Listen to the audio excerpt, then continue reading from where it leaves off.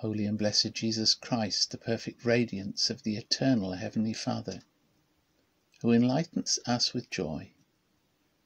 As dusk draws in upon us and the evening lights appear, we sing our praise filled hymns to God, the Father, Son, and Holy Spirit.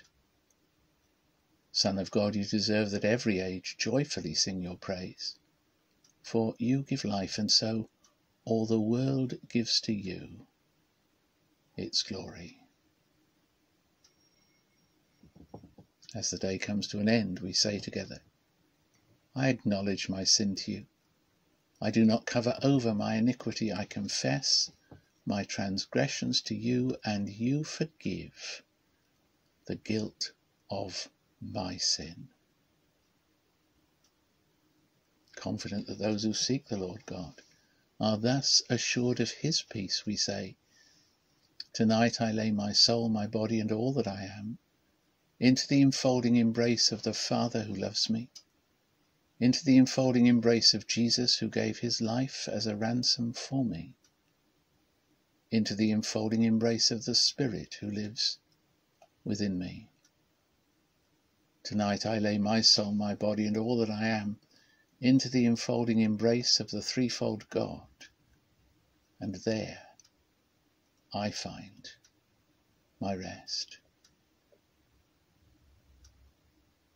Lord, we acknowledge that your word is a lamp for our feet and a light on our paths, and so we read Proverbs 30, verses 5 and 6. Every word of God is flawless. He is a shield to those who take refuge in him. Do not add to his words, or he will rebuke you and prove you to be a liar. Word of God incarnate, may we find in you and in those words which speak of you a place of eternal refuge, which will never fail us or prove false. as the fountain in the garden, as the candle in the dark, as the treasure in the coffer, as the manna in the ark, so, Lord, are you to me.